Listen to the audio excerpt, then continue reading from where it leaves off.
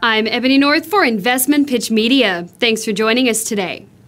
Kintavar Exploration has completed the summer drilling program on the MLI corridor and released additional results from its surface exploration program on its Wabash project. Its 100% owned flagship project, the Mitchi Wabash Copper Silver District, is located 100 kilometers north of the town of Mont Laurier and 15 kilometers east of the town of Parent in Quebec. Both properties, which cover an area of more than 300 square kilometers, are accessible by a network of logging and gravel roads, with access to hydroelectric power already on site, major regional roads including railway and a spur. A 1,502 meter 12 hole drill program was completed on the 1.5 kilometer long MLI corridor. The objective of the program was to target the high-grade mineralized horizon that was observed in hole WAB 2121, which on March 24th reported 1.01% copper and 19.3 grams per ton silver over 16.8 meters, and to better understand the stratigraphic sequence along this corridor. The majority of the drill holes successfully intersected the same stratigraphic sequence that includes several marble horizons, up to 20 meters in thickness. This fertile sequence can reach thicknesses of up to 70 meters as observed in some drill holes. Low-grade copper and polymetallic horizons are observed more to the east of the MLI corridor, and followed by high-grade copper and polymetallic horizons to the west, similar to the sequence observed in hole WAB 2121. The drilling program followed up on the success of the early summer trenching program.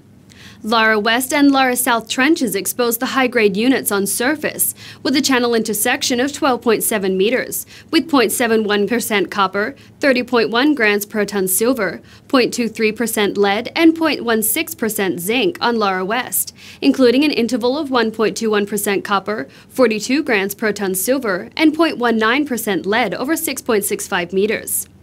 Other high-grade grab samples from both trenches included up to 2.9% copper, 170 grams per ton silver, 1.78% lead, 0.33% zinc, and 0.11 grams per ton gold. A small regional exploration program on the Wabash project continued throughout the summer. The team mostly focused on the large soil anomaly to the southeast of the MLI corridor, and it successfully identified both mineralized outcrops and boulders. Some of the best results gave up to 4.79% copper, 13.4 grams per ton silver, 0.29 grams per ton gold, and 0.12 grams per ton cobalt, while some assays are still pending. Other regional targeting programs are continuing throughout the summer and fall to try to identify other corridors similar to MLI. Kirill Mugaman, president and CEO, stated, The MLI corridor was a priority target for this summer, and it has delivered. The stratiform sediment hosted mineralization was successfully traced for over one kilometer in the most recent drill holes, confirming our interpretation. The assays from this program will help us better plan the follow-up infill drilling on the MLI corridor as we keep advancing throughout the entire unit. Once we receive these results, we will start planning the next drilling program, which will most likely take place this fall or winter. Kintavar supports local development in the Mitchi Wabash region where it owns and operates the Fer à Cheval Outfitter, a profitable and cash flow generating operation where it employs a local workforce. The company also works with local First Nations to provide training and employment.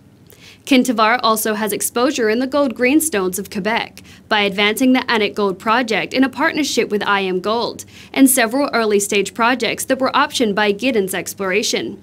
The shares are trading at 7 cents.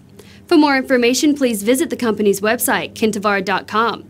Contact Carol Mugaman, President and CEO, at 450-641-5119, extension 5653, or email kmugaman at kintavar.com. I'm Ebony North for Investment Pitch Media.